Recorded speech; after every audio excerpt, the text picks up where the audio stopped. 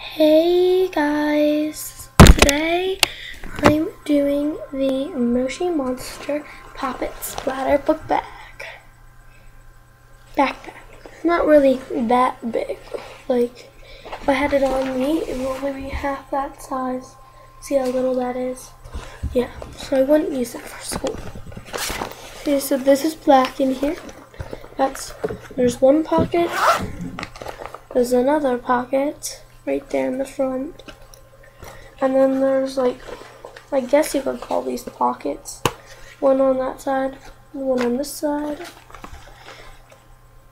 That's the back, that's the front. Okay. Okay. So I decided to do an example for you. Let's say there's a pretend Moshi Monster can. They, they said to pack everything you would need. So I would need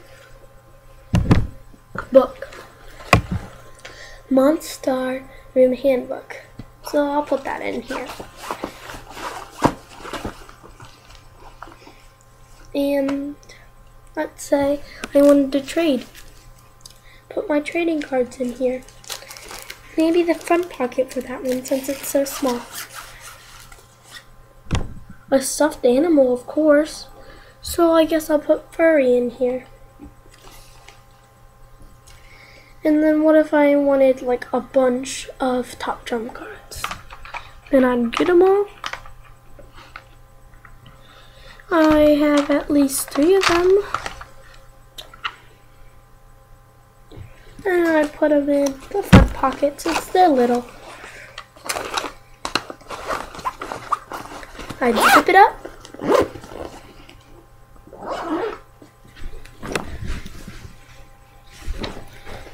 Grab a water bottle. Put it in here. This is my water bottle. My sister's. Hello Kitty. It's in my room.